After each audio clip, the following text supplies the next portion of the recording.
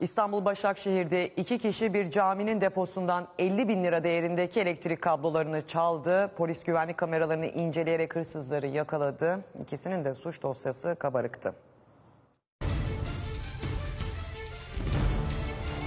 Nasıl kaldırdıkları, nasıl götürdükleri ayrı bir muamma. 3 dakika içerisinde oluşan bir olay. Biz de şok içerisindeyiz. Hepsi şoktaydı çünkü iki hırsız en olmayacak yerden caminin deposundan elektrik kablolarını çaldı. Bu kabloyu biz alabilmek için cuma günleri işte cami cemaatinin 5 kuruş, 10 kuruşlardan toplanan desteğiyle alınmış olan bir kablo. saygısızlıktır, terbiyesizliktir. Beş gün önceydi hırsızlar bir araçla Başakşehir'deki Mehmet Akif Ersoy Camii'ne geldi. 7.30-8 civarı sabah araçla buraya yanaşıyorlar. Hırsızlar keşiflerini önceden yapmışlardı. Hedefleri belliydi. İkisi araçtan indi, deponun önüne geldi ve kapıyı zorlayarak açmayı başardılar. Kabloyu taşıyamadığımız için buraya bıraktık.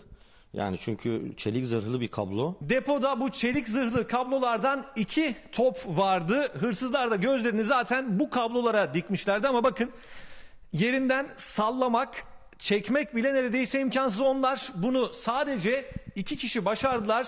Kilolarca ağırlığındaki kabloları kaldırıp araca yüklediler. İnsafsızlar işte 50 bin lira değerinde kabloyu alıp götürmüşler. Caminin malından da böyle bir şey yapılmaz yani. Polis ekipleri güvenlik kameralarındaki görüntülerden şüphelilerin kimliklerini belirledi. Toplam 29 suç kaydı bulunan iki hırsız kısa sürede yakalanıp adliyeye sevk edildi.